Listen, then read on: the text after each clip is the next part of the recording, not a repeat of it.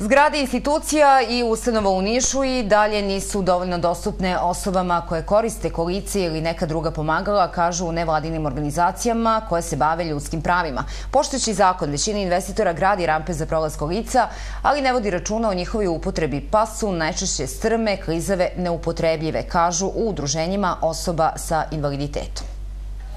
U organizaciji iz Kruga kažu da škole u Srbiji i dalje nisu dostupne osobama koje koriste invalidska kolica i da su najveći problem srednje škole. Najdalje smo otišli sa fakultetima u Beogradu, recimo, dok prečkolske ustanove i obrazovne institucije osnovnog obrazovanja tu i tamo. Radi se sad trenutno, Na tome srednje škole skoro da i ne postoje koje su dostupne. U Nišu je dosta urađeno na otklanjanju arhitektonskih barijera, ali se i dalje većina rampi radi zbog zakona, a ne zbog ljudi, kažu stručnjaci. Tako da nam se dešavaju situacije da kose rampe postoje, ali su mnogo kose.